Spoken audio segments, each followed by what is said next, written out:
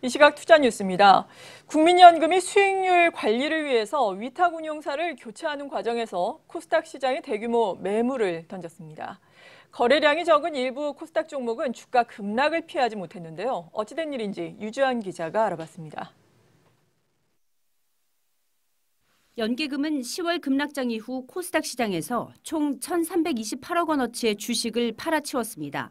이 매물은 지난 7일에 집중됐는데 장기 투자를 주로 하는 연기금이 하루 만에 이처럼 대규모 물량을 던진 건 처음 있는 일입니다. 주식시장에서는 국민연금의 중소형주 펀드를 위탁 운용하던 운용사를 다른 운용사로 교체하는 과정에서 벌어진 일이라고 보고 있습니다. 기존 펀드가 다수의 코스닥 종목을 보유하고 있었는데 이를 이관받은 운용사가 포트폴리오를 조정하며 매물을 일시에 쏟아냈습니다. 이날 연기금 순매도 상위에 이름을 올린 종목들이 해당 종목으로 추정되며 나스미디어, 컴투스 등의 주가는 두 자릿수 하락했습니다. 금융투자업계에서는 한꺼번에 매물이 나오며 주가에 영향을 준 건 사실이지만 해당 매니저도 추가 손실을 줄이기 위해 이 같은 선택을 했다고 보고 있습니다.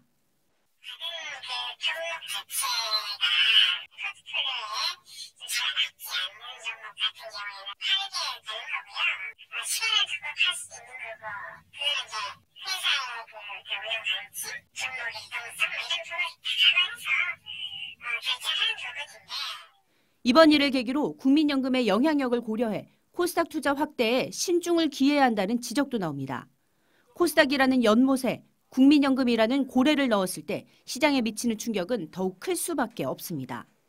포트폴리오 투자를 하면서 어떤 종목 단위로는 운용 제약 같은 게 없어야 되잖아요. 시총 규모가 작은 소형주들은 제약이 너무 크다라는 거죠. 지금처럼 특정 종목을 뭐 비중을 늘리거나 줄이거나 할 필요가 있을 텐데 그 영향이 너무 크게 나타나서 일각에서는 새로운 기금운용본부장 취임 이후 국민연금이 수익률 관리를 강화하며 위탁운용사를 전격 교체하고 코스피 투자 비중을 늘리고 있다는 해석도 나옵니다.